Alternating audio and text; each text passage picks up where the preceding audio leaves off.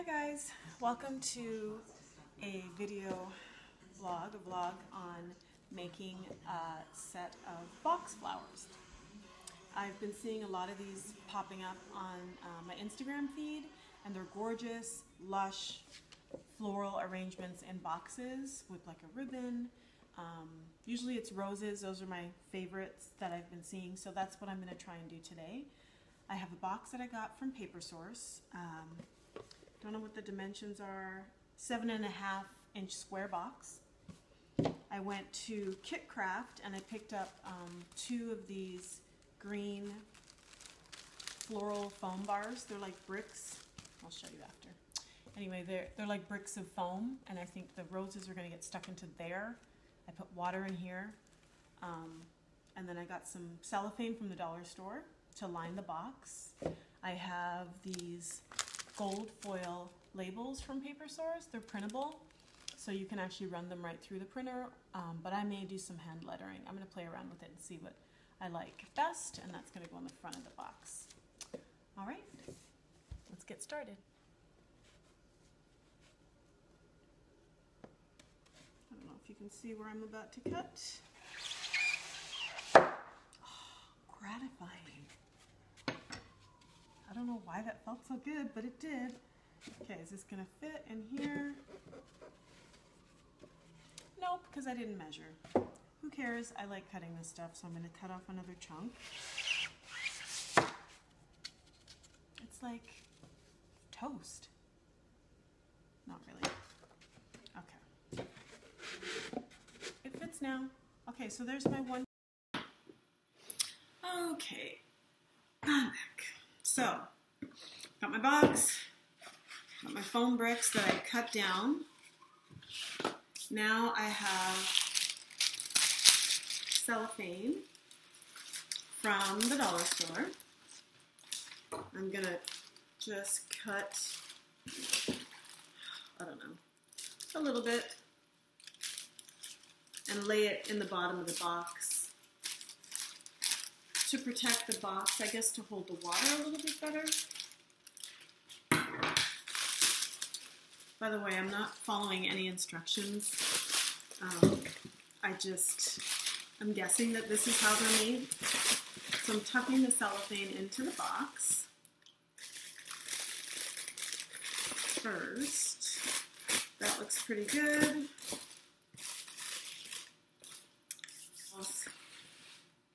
a ruler or math, but I'm not going to do that. I'm just trimming around the top of the box, right around here, and the cellophane is just going to sit nicely in there. So I don't want any of it to peek over the top. I want the top to be very clean looking. Okay, I've got my excess cello cut. Now I'm going to pop my bricks in here, I think. Seems easy enough. Nope. Oops. Okay, let's try this. There we go.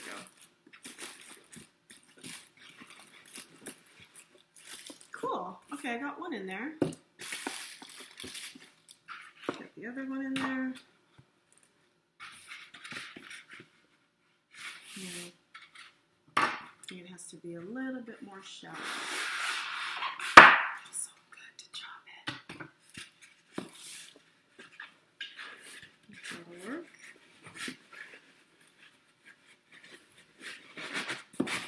Ooh, dusty. Voila. Okay, that's looking really good. Put all my tools aside over there, and here comes the main event. Look at these beautiful roses. So, fun fact, roses go on sale after Valentine's Day. So, these were not that expensive.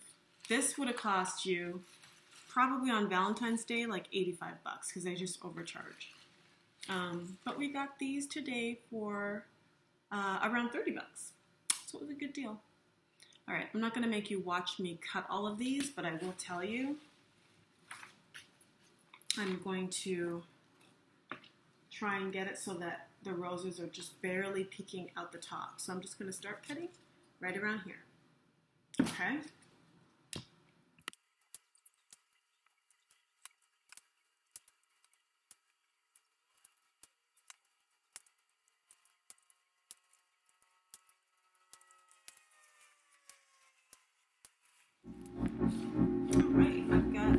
Bunch of roses here that I've cut all to the same height and I've started, I put one in there. I think I'm going to start in the corner now and just kind of push them in, get them a good width apart.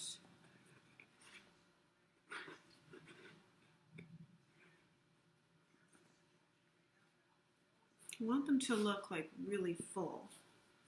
So, I don't know. We'll see.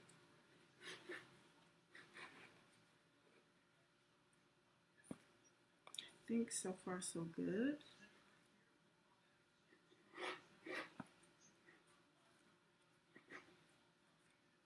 Okay, I'm going to do one row.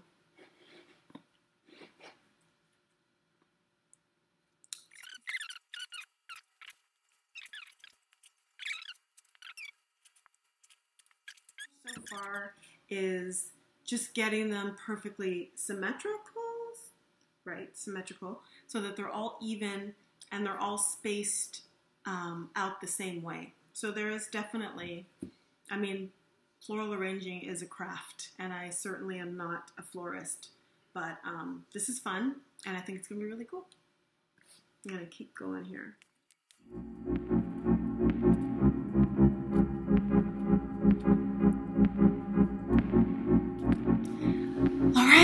I finished my beautiful rose box. I'm beyond excited at the results.